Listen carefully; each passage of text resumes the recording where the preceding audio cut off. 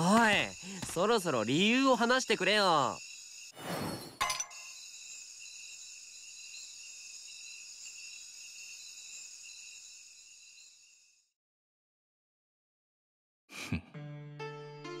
なあ政宗ってば一体何があったんだよ？政宗奇策が悪いとは言わないがさすがにこの状況はまずい。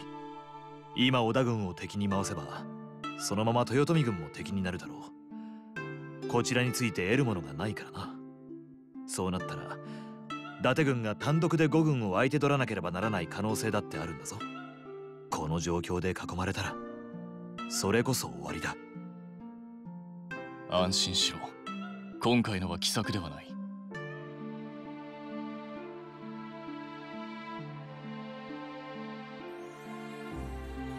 確かに伊達軍は奇策を使うと言われているが別に奇策は俺たちの専売特許というわけではない。どんな相手でも奇策を使ってくる可能性がある。騙されないように。十分気をつけろ。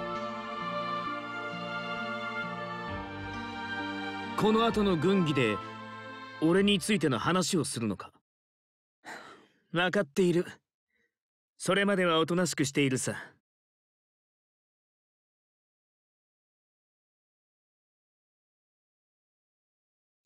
いたぞ。